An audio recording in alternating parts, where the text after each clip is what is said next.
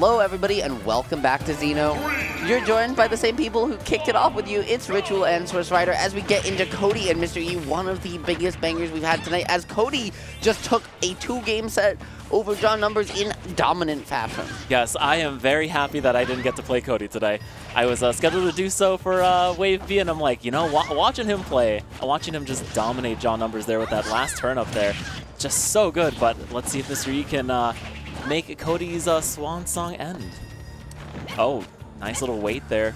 Lots of patience going on, knowing that whoever swings first is going to be in disadvantage. And Cody, the first person today, too, to not get caught up by Oh that Dolphin Slash, able to convert the punish into a stop just like that.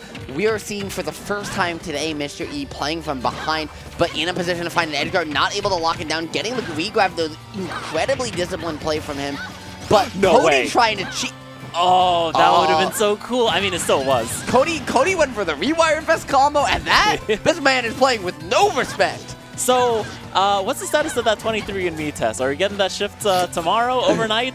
Uh, I don't know whether whether he qualifies as a Swedish sniper or not. He is certainly a Stitch-faced supplier, pulling yet another one from the depths. Able to pick it back up and still in hand. This is scary territory for Mr. E, but not able to convert too much off of it. The patience from from I- Eric once again coming in clutch, and the these two players, these two players are here to win and nothing else. That's right. The spacing, so good. Oh no, that turnip though could be. All right, nice retreat to the top ledge and off stage. Yeah, that being said, Peach can cover you seven ways a Sunday. Mr. E, though, with the regrab. discipline to not die immediately, but No Cody with the the punish. Well, at that point, you just kind of have to hope that, that Cody commits, right? Like, there isn't a lot that Lucina can do with no Legend Vuln to get out of Dodge Flare without a commitment, especially when Cody's playing as patient as he is. Like, that retreat to then find a combo from mid-stage was gorgeous stuff. Yeah, you didn't get a long one, but you forced Mr. E to the corner, and without the space to move and mix up his spacing, he's just steamrolling his opponents.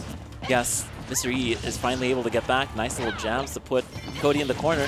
You know, Cody is all about that commitment. They're wear they're wearing the wedding dress. They're just waiting for the right person. Hey man, sometimes you just gotta walk down the aisle. Or E is not Luci- worthy. I was gonna say, or you walk Lucina down the aisle. Uh, Chrom could not make it today, so Peach having to stand in and uh, you know to, to send his daughter off to the Blasto. I never played Fire Emblem. What?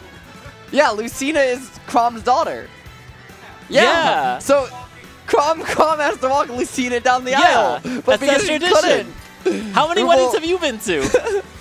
Too many! You should know this by now. It's always Corinthians and walking the daughter down the aisle. Always Corinthians. I'm Jewish. okay. do I, I, Corinthians. you don't do Corinthians? No. Man, aren't you lucky? You don't get the same We thing every time. we step on glass though. Molotov. Oh no, wait. Uh, Mazel Tov.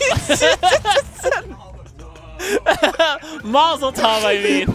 Hey, hey, hey, Swiss, maybe a little too on the nose with the political commentary right now, okay? God, no. As we get into game number two. We're back to this fire set here, Mystery versus Cody. Who's gonna throw the first stop? And just like SwissWriter's mind, we're here on Battlefield.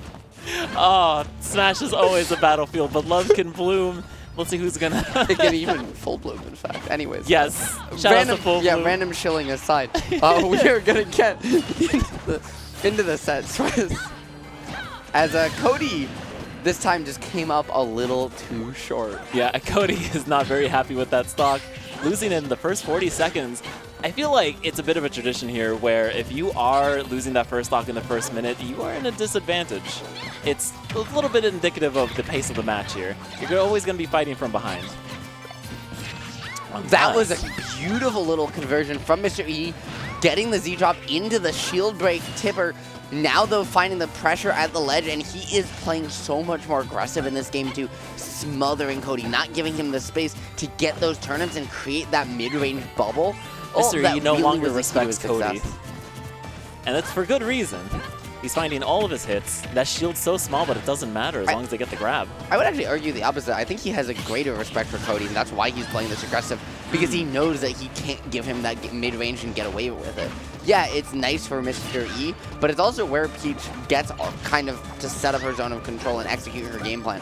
Mr. E said, okay, fine, I literally cannot let you do that because your game plan is good enough that you will beat me. Yes. All right. Unfortunately, no conversion from sharking the platform. Mm-hmm. As they, oh, what a tech! And hey, there's the Mr. Saturn back again. Unfortunately, Jade not able to join me here on the mic to see a potential shield break against Peach, but we she No! wanted one and not gonna find it either. Maybe we'll get a third one here tonight, Swiss, but for now it's just gonna be Cody trying to lock down the edge guard and take a stock of this game. You want to know what I want to hear? See? I want to see a bomb. Oh well, that that little hit was a bomb though. As Yeah. Cody finally gets that first stock. Swiss, you're talking about Molotovs and bombs. I'm really concerned. Are you okay? I've been on fire today, um, work-wise. so you might want to get that one checked out. Um, All right, time to take a sick day tomorrow then. Oh no. Mr. E playing out of his mind here. Yep, I like the Nair there to control this positioning, but once again, just overextending a little bit past ledge. Ooh. Cody, for the first time all set, dropping an edge guard, and Mr. E gonna push that one to the limit. Hitting that could have given him a window back into this game, but now he is at wit's end. He needs to find something and fast, SwissWriter. And, okay, avoiding that turnip. What are we going to see here? It's a little difficult to get back on stage, and what good coverage with that up smash. So Cody's going to have to try and go for a cheesy kill here. 164, Mr. E. No damage. This is going to be tough. And Mr. E trying to swing and a miss. That beautiful back air out of shields, taking that second game. Uh, swing and a miss, and then a swing and a hit. That's right. A better, better. You know what? It's uh, that's why you get uh, you get three strikes in baseball. You can you always get another chance.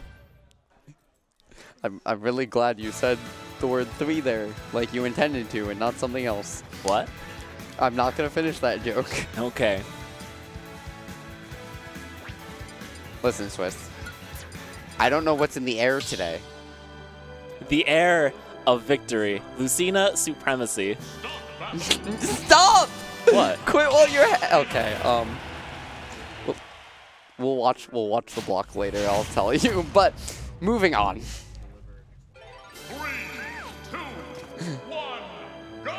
All right. Last game of this set. Winner semis. Who's going to go on? And I like the change to small battlefields. Small battlefield, but still a brawl. Yep, removing the top platform, a little bit less space. I, I think Cody enjoys it because it forces, it doesn't let Mr. E get away from him. It forces him to have to contest these turnip tosses a little bit more, which can give Cody opportunities like the bread and butter you just saw to find you to the coast, get some turnips in hand and get an early edge guard. That being said, the smaller stage size does mean you have to scrap against Lucina more, and so I think either way, it, this is going to be the most explosive game we've seen this set. And Mr. E not giving Cody any space. Misses the forward smash. Are they going to go back on stage? Tricky little wiggle on the timing there and the descent from Cody to manage to avoid Oh, that no. one. Um, but not able to lock it down, find the second turnip toss to close out the stock. So instead, it's just going to be a scramble. Mr. E could still take this one, but he has to win neutral first. And Cody right now is playing absolutely mistake-free. Yeah, going for that shield breaker. Cody could have parried that, but it's always difficult, especially when Mr. E doesn't use that consistently. Only comes out when needed. Oh, saving their jump, but getting sniped by the turnip. Oh, do it again. No, he's like, I don't want to do that again. Cody was ready for it. Had that in hand. He's like, try it again. I dare you. And uh, missing that air dodge onto the ledge. Uh, Mr. E getting that one for free. Yeah, uh, Cody decided to take the truth when you offered the dare, my friend, because it did not work out at all. Now, though, trapped at ledge, relatively even scenario. You just have to avoid getting hit by that down air because you know Mr. E's going to pull it out seven days a week. Week looking for a way in, but not having the space here with only a platform between them to pull the turnip, and that's the hmm. downside of small battlefield, right? I'm liking the thinking of that Dolphin Slash to get out of that mm-hmm. combo, but uh, if you do call that out, it is easily punishable. Mm-hmm. Especially with no top platform to land on. And like the big question is here is watch the spacing between the two when Cody's pulling these turnips. Right, Mr. E, every time he has an opportunity, is trying to close that gap shorter than to a platform length is shorter, because that's where Mr. E can actually whip punish you for pulling turnip, and that's where he's really pushing these advantage states. Wow, waiting for that grab. Mr. E kind of with a small pop-off being like, I can't believe I got that. Cody just having a nod their head. All right, trying to cover the air. Nothing. Nice beautiful, I was gonna say beautiful float mix up from Cody too, but got kind of got caught just there on the double jump afterwards, some poor DI and closing it out. Now it's the Mr. E show, and it feels like Cody's incredible defense is all but crumbled. Well, just not able to get Oh. anything started. The download is complete, but Cody not out of this yet. It's just one stock away. He just needs to find the hit. All right, Mr. E looking to finish this off, but off the ledge, turn up in hand. It's no stitch, but beautiful into a crown. And what do we see here? Ooh, that was so dangerous. Oh no. This is the way exactly what Cody wanted. Oh, he to went for the no! he went for the parasol. That would have been the clip of the, the year with Peach, but, But- instead, You can't must fall always on be the sword. fancy. You can't always be fancy. You got, you got to clutch it out first. That knowing smile being mean, like I had it. the gate in the Game of Thrones SwissWriter, Yeah. you either win or you die. Or and you have Cody a really tried bad to win. This one, eh, not as bad as season six, but you know. No, Cody tried better. to win and Cody died. That's I'm quoting the book. Oh, and never the, read the and the movies or the The movies. I, I, mean, don't they're know. long enough to be movies. At this point, it's all the same, right? That's Look at right. Disney Plus. Disney Plus. I think it's on HBO. No. Game of Thrones. I don't know. We are totally off the mark when it comes to references today. But you know what? You will be on the mark for subscribing here to our Twitch channel, House of 3000, and tuning in every single Wednesday. House 3000.